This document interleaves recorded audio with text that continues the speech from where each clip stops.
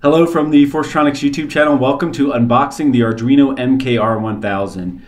And in this video, we're going to talk about the MKR1000, which is a Arduino board dedicated to IoT applications. And before I get started, I have to give my shameless plug that Forcetronics.com carries authentic Arduino boards, including the Uno and the Arduino MKR1000. So if you like what you see in this video, I'm going to try to be non-biased, of course, but if you like what you see, you can pick one up at Forcetronics.com and we have a sale on them for the rest of the summer 2016. So let's get started. Okay, what are some of the headlines or the main features? And of course, I'm going to go into more detail on all of these, but one of the main portions on this board is a smaller board from Atmel, the AT-SAM W25, which provides a powerful microcontroller. It provides Wi-Fi capability, it provides some cryptography for security for the Wi-Fi aspect. It also comes pre-certified. So I list some of these certifications, and you might say, well, who cares about that? But that's actually a pretty nice feature because what that means is if you actually want to turn it into a product and sell it, it already has FCC certification if you're in the US, for instance. If it didn't have that, you would have to pay to take it to a lab, to have it FCC certified, so on and so forth. So that's already built in. It calls itself an SoC. I don't think it really is an SoC, which is system on a chip, and I'll explain that later. Also, the MKR 1000 board, now this is separate from the Atmel board I was just talking about, has a built-in battery charger for a single cell lithium polymer battery. So that's nice because it's built in. So you can run it off a battery and you can actually charge the battery when the board is plugged in. Another thing to note, uh, this is not surprising, I don't think it's a big deal, but it's 3.3 volt power, meaning the logic levels and things like that. It does have a 5 volt power supply. You can plug it into USB. It doesn't have an AC wall connection which is different than a lot of Arduino boards. So here's an actual unboxing of it. So I, I show the box at the top. One thing that jumps out at you right away is it's pretty small. And I don't have a problem with that. I just, you didn't expect it. I didn't expect it when I got it, but it's actually a pretty small board. It comes with header pins that you can attach if you want. You can see the, the, the board I mentioned, the AT SAM W25 is right here and I'm going to talk about more of the parts on this board soon, but headers you can actually attach if you want to, real small form factor. One thing, here's one little complaint. I don't like how they printed this stuff on the bottom. So if you use the header pins and you put this on a breadboard, you can't even really see these pin numbers. I wish they would have put them real small on the top at least as well. Another thing that's a little surprising that's not a big deal you know, I understand you can't put an Arduino shield on this board, but they didn't use their same numbering convention that they do on the standard Arduino board. So, for instance, where you have the power and the reset, that's where you typically have the same side as typically where you have the analog pins. They they didn't do that for whatever reason, and maybe it's just to make it more symmetrical with the same amount of pins on each side. Okay, let's take a look at the schematic to see what's actually on the MKR 1000. And I have a picture of it in the, the, corner to kind of reference. Here we have the USB connector, which has the USB communication. The, the chip, or the Atmel board, I'll call it, has a USB peripheral. This portion right here on the schematic represents the Atmel SAM W25 board. The clock is built onto the board, and I'll talk about what's on that board. But here's an external clock for the real-time clock capability that's on the board, and that's just a 32 some kilohertz clock. Here's just some LEDs. This is a little confusing. They, ha they have sort of the board representation schematic. Then they almost have like a picture of the board itself right here. Not quite sure why they did it. Maybe just, just for readability. I'm not sure. If we go down to some of the other pieces on the board, so that top piece of the schematic was mainly just the SAM W25 board. Here, let me move the photo over. Here we see some of more of the parts on the board, and here's a little, the, one of the cool features on the board, and that's the battery charging circuit. So let me zoom in on that a little more. So here's the battery charging chip, and this is a microchip and when I say microchip, I mean the company microchip. It's made by Microchip, which recently bought Atmel, so they own Atmel now, so maybe that's why they're including it on here. Then, besides though, just that microchip, and I, I should mention that charging microchip is right here that controls the battery charging. And so the idea is, well, why do you need that chip? It's because the battery itself is going to have some kind of charge profile. And when you're dealing with lithium batteries, you have to charge them a certain way or else you can have issues. So you can only charge them to a certain voltage. You typically charge the current first until the voltage gets up to a certain level and so on and so forth. So this chip is managing that, but it's also managing it with this chip. And I think I forget who makes this chip, but what this is is a regulator, but it's not a voltage regulator. It's more of a constant current regulator. And what it does is supply the charge current for the battery when the battery is charging. A lot of MOSFETs or transistors on here, I guess for cutting different powers off to different areas or, or so on and so forth. I didn't really analyze it that closely. If you look at the, the chip itself, so this this right here is actually that that current regulator chip that I talked about. So you have the current regulator, you have the battery charging chip. Then a lot of these other, I'll call them small ICs, are these um, transistors or MOSFETs that you see also on the board.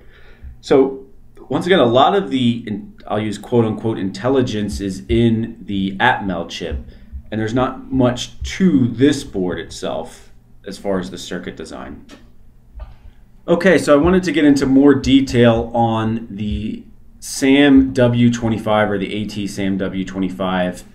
And you can see it actually has its own little part list. So here's a picture of it with the shield on, but if you take the shield off, you can see you have multiple chips. And as I said earlier, they refer to this as an SoC, which stands for System on a Chip. I would argue this is an SOP for System on a you know PCB board. So I, I don't know if, if, if, correct me if I'm wrong, anybody in the comments section, but I don't think this is the definition of an SOC. But anyway, it's definitely a cool chip. If you notice, there's a lot of parts on it, but the key parts, I'll say, are right here. So there's the shield, but here we have the actual main chips.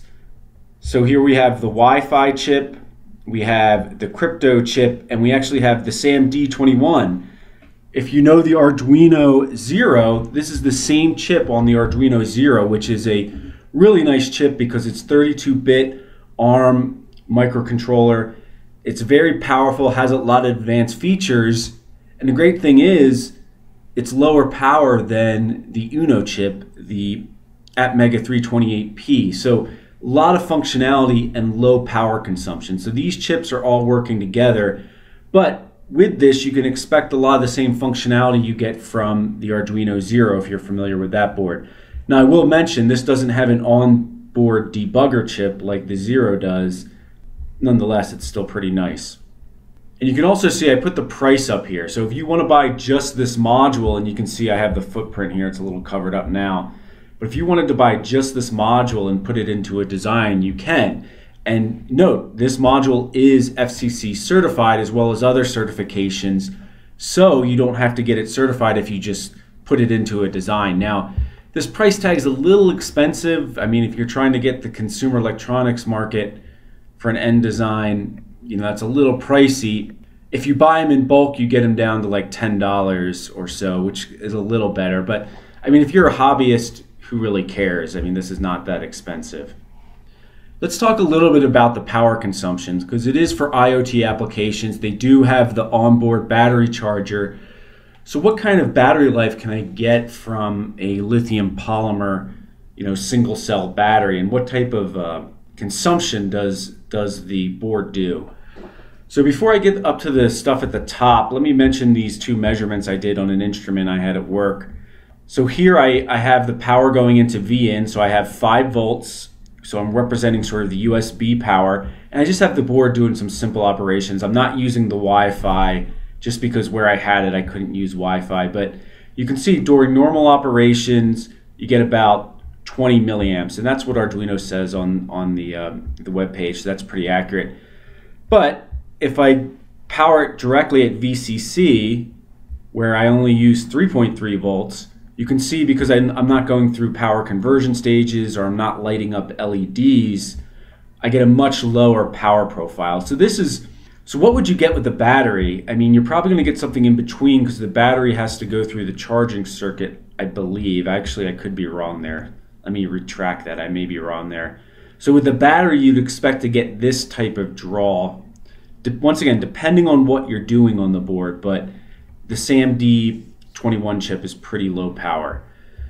Here's some notes that they provide. They say the charging current is 3.3, uh, excuse me, 350 milliamps. So what they say is they recommend a battery with a minimum charge of 700 milliamp hours or 0.7 amp hours. So if you're not familiar with the battery terminology, you may want to look into that. But what they're what they're saying is because they're charging at this rate of current, they a good safe procedure is, is to charge at a half C because this is this would be one C and that'll prolong the battery life and be more safe.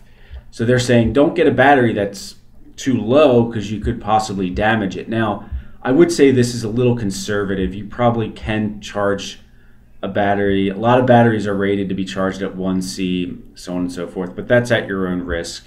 Probably, and also based on this power, you're probably going to want something this power, this size, I should say, or higher. So here I do an example calculation so if we assume the average current of the microcontroller is 20 milliamps, and the Wi-Fi when you're doing when you're on Wi-Fi and communicating, that's when you use up a lot of power. And I didn't actually measure this. I got this just from their uh, web page information. They say when you're using the Wi-Fi, you're at about 100 milliamps. So if we had a single cell lithium polymer battery that was 1,000 milliamp hours, here's the type of battery life we'd be looking at. So if we, we operated it with the Wi-Fi always on, it's always connected to a network, we're only going to get about 8.3 hours, which isn't too bad if it's a rechargeable battery.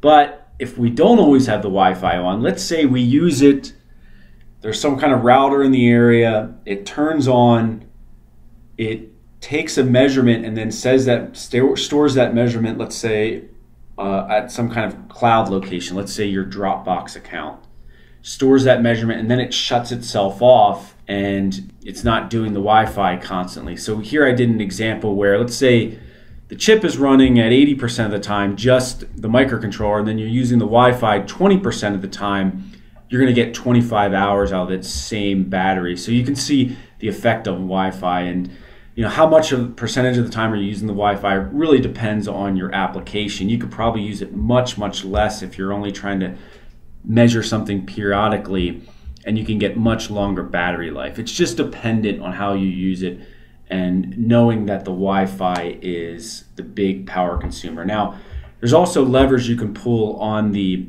SAMD21 microcontroller chip that probably can get you way below 20 milliamps. So maybe I'll do some videos on the future on how to get this down to a lower power consumption so you can get much longer battery life. Okay, let's look at a quick example with the MKR 1000. And I'm just going to use one of the built-in examples for the Wi-Fi.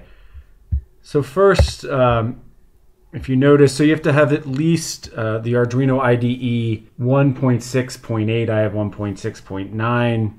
You can see uh, in the board manager for the SAM board, SAMD board, you have the Arduino Zero, and it's just listed under that.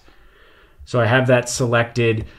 I should note too, when you first connect it, if you're running a Windows computer, you're going to have to download a driver. They have some information on that on the on the getting started page. Uh, if you're using Mac or Linux, you, you don't have to do that. So yeah, I just showed you that. Let me show you the examples because there there's actually a lot, which is nice because using Wi-Fi uh, can be tricky. So here's so this library will already be pre-installed.